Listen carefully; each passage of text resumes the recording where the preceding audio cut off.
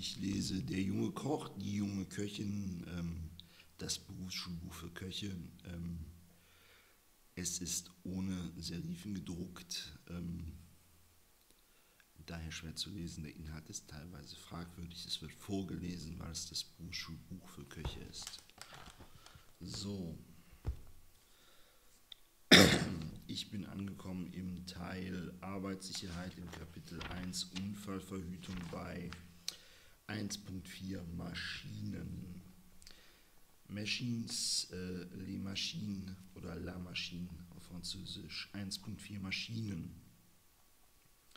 Die Berufsgenossenschaft prüft neue Maschinen und Geräte, ob sie den Unfallverhütungsvorschriften entsprechen und stellt darüber ein Prüfungszeugnis aus.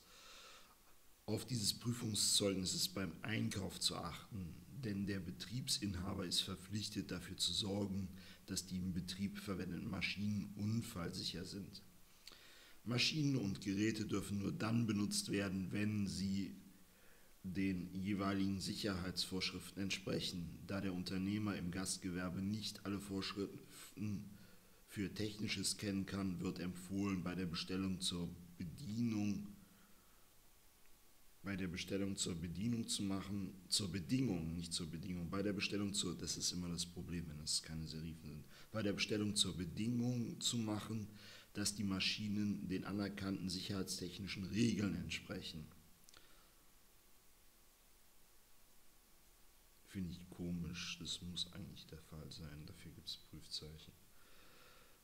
Ähm, es gibt einige Kennzeichnungen, die der Hersteller von Geräten verwenden die die Hersteller von Geräten verwenden dürfen, an denen man sich orientieren kann. VDE äh, finde ich schon daneben. Ähm, da hat was anderes zu stehen. Das ist das CE-Zeichen. Das äh, ist das Zeichen dafür, dass äh, mit, dem, äh, mit der Maschine in, äh, oder elektrischen Maschine oder Maschine in äh, Europa gehandelt ich sage sonst gar nichts mehr zu dem. VDE, das Kennzeichen ist ein Garant für geprüfte Sicherheit und Qualität. Das Gütezeichen des unabhängigen und international tätigen VDE-Prüf- und Zertifizierungsinstituts genießt das Vertrauen der Verbraucher.